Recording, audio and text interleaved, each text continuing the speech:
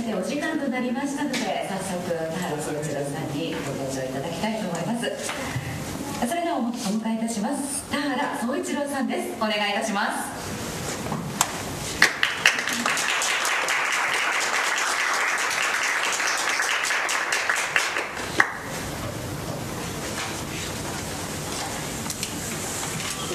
はいどうぞよろしくお願いいたしますはい、それではこれより田原総一郎さんの記者会見を始めさせていただきます。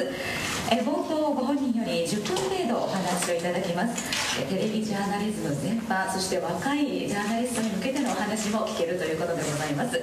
えその後会場からの質問をお受けいたします。それではよろしくお願いいたします。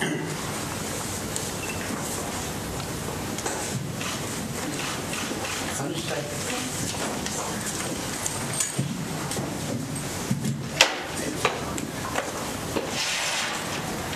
まだこんばんはじゃないな、こんにちはです。えー、田原総長です。えー、10分ぐらい前回話してくれたということなんで、えー、話をしたいと思います。えー、何言うかよくわかんないんだけど、まずその、私は13年間、今のテレビ東京というところに勤めてました。で、ディレクターやってました。で、最近になって今になって私が40年前以上にね、えー作った番組を今テレビ東京が、えー DVD で売ってくれてます。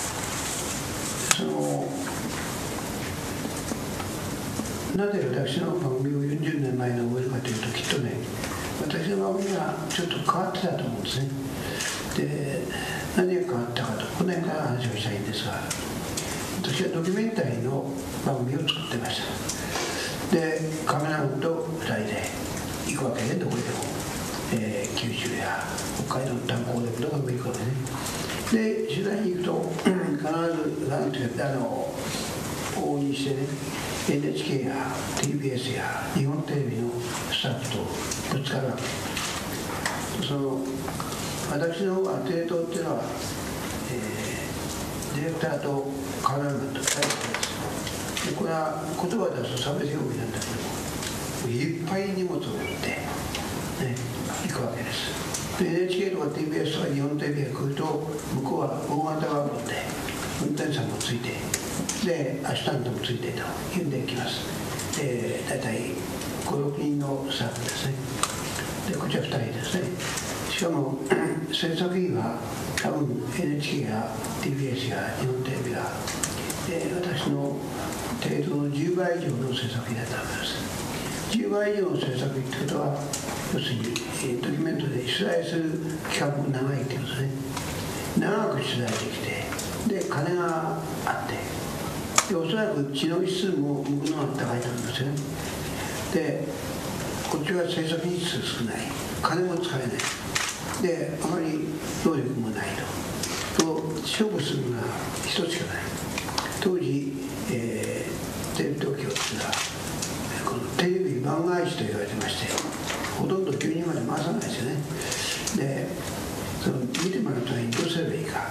で NHK や TBS にあるいは日本テレビと勝負するにはどうすればいいか。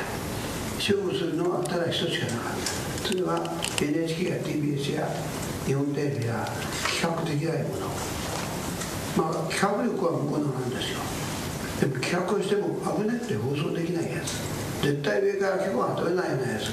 つまりやばい番組を作るしか方法はないと思いました。で、えーまあやばい番組を作ったわけですがそれは一つには、えー、テレ東が言ってみればテレビ番外地と、えーいう三流局だったから作れたということもあるでしょうね。で他の局は絶対真似できないことだよ。いろんなことをやりました。